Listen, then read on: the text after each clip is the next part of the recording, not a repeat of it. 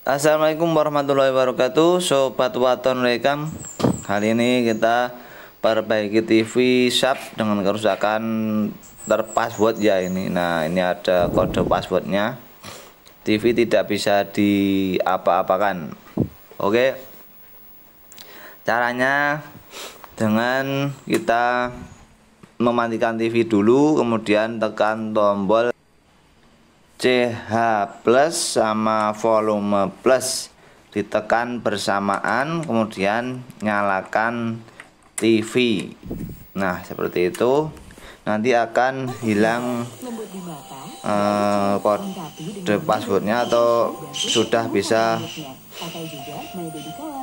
bisa muncul kembali layar di TV dan untuk mematikan kode passwordnya nanti bisa ada caranya lagi di video selanjutnya.